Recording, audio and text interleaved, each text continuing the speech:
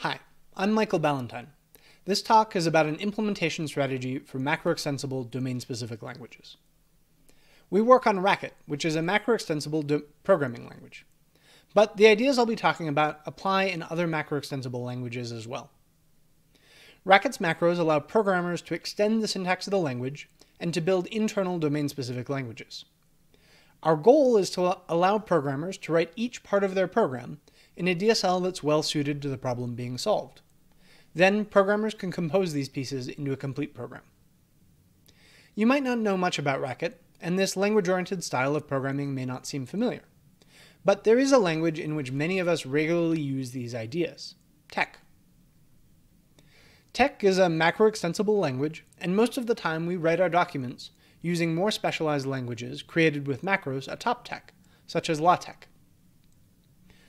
And we don't only use one such DSL. If we need to include a diagram, we might create it using TikZ, which is a declarative drawing language built on top of TeX. TikZ is a significant language in its own right, and it's used to create diagrams for a wide variety of domains. But it's hard to create complex diagrams with just points, lines, and primitive shapes. So TikZ itself is macro-extensible. Programmers can create higher-level drawing languages for particular kinds of diagrams. For example, Circuit TikZ is a language for creating circuit diagrams. There are dozens of this kind of extension to TikZ for different domains. Racket's ecosystem is similar to TeX. Programmers use a variety of DSLs, and many of them are macro-extensible. So here are a few examples. Racket's algebraic pattern matcher is implemented as a language extension in the standard library, rather than as a built-in feature. We can think of its language of patterns as a DSL, and it's macro extensible with pattern macros. Uh, Rash is an interactive shell and scripting language that mixes Racket code with traditional shell pipelines. Programmers can add new pipeline syntax, uh, like a redirection operator, with pipeline macros. And typed Racket is a type dialect of Racket. Macros can ex extend its syntax at both the term and type levels. So Racket programmers want, and in fact build, DSLs that are themselves extensible. But Racket doesn't provide tools designed for creating these extensible DSLs. That means that building them is difficult and hard to get right. This talk presents two ideas about how to implement extensible DSLs properly. The first is an architectural idea that's been around in the Racket community for some time. The second is a new API to Racket syntax system that supports that architecture. This API makes it easier to create extensible DSLs that fit together smoothly with Racket and with each other. To start, let's talk about what qualities we want from an extensible DSL. The point of using a DSL is to take advantage of its specialized behaviors. So we want to be able to implement any kind of grammar, static semantics, and even optimizing compilation. At the same time, we'd like the DSL to integrate well with the host language, so that it's easy to put together parts that are written in different DSLs. As far as macro extensibility, macros for the DSL should work in the same way as macros for the host language. And finally, we'd like our IDE to understand at least the binding structure of the DSL, so features like jump to definition work automatically. The first big idea to achieve these goals is to use the same architecture to make DSLs extensible that we use to make Racket extensible. Racket uses a macro expander that transforms programs using the extensible surface syntax into a fixed core language. Then a traditional multipass compiler can analyze the core language syntax, perform optimizations, and generate code in the target language. DSLs can use this same architecture. A DSL expander will transform DSL code with macros into a DSL core language. Because the core language is fixed, a DSL compiler can analyze the DSL syntax and apply domain-specific optimizations. The DSL compiler then generates Racket code. We want to create internal DSLs integrated with Racket. So the Racket and DSL expansion and compilation pipelines need to connect. The connection between languages is established by what we call interface macros. When the expander encounters such a macro, it passes off the DSL syntax to the DSL expander and compiler. the code generated by the DSL compiler is returned to the Racket expander to be integrated as part of the overall program. So to make this idea more concrete, let's look at an example. A DSL for parsing expression grammars, or PEGs. Here's an example of a parser specification written in our implementation of PEGs. It defines a parser for simple arithmetic expressions consisting of sequences of additions and subtractions. Each defined peg defines a grammar non-terminal. The right-hand side is a peg expression, which may include a reference to other non-terminals, sequences, repetitions, alternatives, and literal character strings. The PEG DSL comes with a static semantics. Left recursive non-terminals are forbidden. This is because if we parse using a left recursive peg, we'd get an infinite loop. So we write the arithexpr non-terminal using er repetition rather than recursion. And our DSL implementation checks for left recursion at compile time and raises a syntax error highlighting the loop if it finds any. To make much use of a parser, we'll need to integrate it with Racket so that we can do something with the result. So we weave together the DSL and Racket. We make peg definitions part of Racket modules, and we add semantic actions that we write as Racket expressions. Altogether, the module here uh, contains three parts. A structure type for representing the abstract syntax tree, a helper function to turn repetitions into left-associated trees, and the non-terminal definitions, uh, which now have parse variable bindings indicated by the colon operator, uh, and now contain a semantic action that calls left associate. The defined peg macro forms the interface between Racket and the peg DSL, dispatching to the peg expander and compiler. So now that we have the peg expander, we can abstract over peg expressions using macros. Consider extending the arithexpr parser with multiplication and division operators. We want these to have a higher precedence than addition and subtraction. We'll need to copy the structure of the arithexpr non-terminal for each of the precedence levels.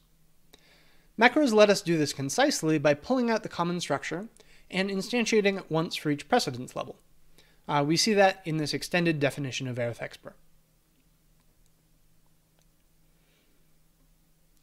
To see how expansion and compilation proceed, let's walk through a super simple example. So here's a parser for comparison operators. Uh, we just have an alternative among several character sequences. Racket will dispatch to the DSL pipeline via define peg, and the first step there is to expand macros. The alt syntax isn't part of the core language. Rather, it's a macro that expands to the binary alternatives that we see in the expansion on the right. Given the DSL program expressed entirely in the core language, as on the right, the DSL compiler can look for patterns and apply optimizations. Here, it recognizes the special case of alternatives between character sequences only, which it compiles to an efficient binary search. So, what did we get out of using this DSL expander approach for the PEG DSL? Well, first, racket and PEG syntax are syntactically distinguished and the grammar of each is enforced. So if we make a syntax mistake, we'll get an informative error from the respective expander. Second, the DSL compiler can enforce any kind of static semantics. In this case, the prohibition of left recursion. And finally, the DSL compiler can analyze the syntax to perform op optimizations. So for example, the optimization we just saw for alternatives with only character sequences. On to our second big idea. Rather than implement DSL expanders totally from scratch, we can reuse features from Racket's expander. To do this, the Racket expander needs to be built in two layers. One layer implements concepts that we will share between languages, and the other layer implements the parts that are specific to Racket syntax. We've created a new API that allows DSL expanders to reuse the shared layer. So next, let's look at how DSL expanders use the concepts in that shared API. Scopes, macro hygiene, the expander environment, and the module system. We've seen that programs can intermix languages, and that variables bound by one language can be referenced in another language. In this example, the Racket expander creates a scope for the module body, which contains PEG non-terminal bindings. And the PEG expander creates a scope for the semantic action, which includes parse variable bindings in the PEG language and references to those parse variables in the Racket action expression. To make these interactions work, all the expanders need to share a common understanding of scope. Macros add another dimension to scope. Consider this expansion of the binops macro.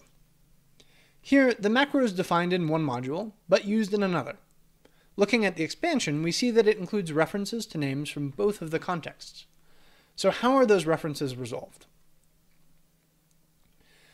The basic idea is to divide the identifiers in the expansion into two projections, those originating from the use of the macro and those originating from the definition. These two groups of identifiers are put into two different scopes.